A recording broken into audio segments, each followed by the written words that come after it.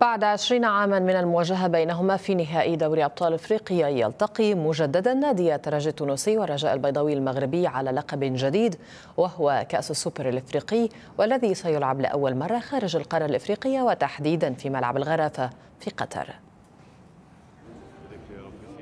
بواقع كأس للترجي وأخرى للرجاء البيضاوي يدخل الناديان مواجهة السوبر الإفريقي على أمل فك الشراكة وتحقيق اللقب الثاني وإضافته إلى خزينة ألقابه المرصع بالتتويجات. نهائي سوبر معناها على مستوى عالي. نعرفوا الفريق الرجاء فريق محترم ومحترم جدا. فريق آه، تعدى فترة ربما تكون سيئة الفترة الأخيرة خروجه من الكأس العربية ثم خروجه من من الكاف يعني باش تكون ثم ردة فعل قوية من فريق الرجاء. الشيء هذا معناها قارين حسابه إن شاء الله نحن نكونوا في نهار كبير إن شاء الله باش نجموا نفوزوا باللقب هذا. إن شاء الله يكون في خزينتنا مع ال مع ال Champions League إن شاء الله.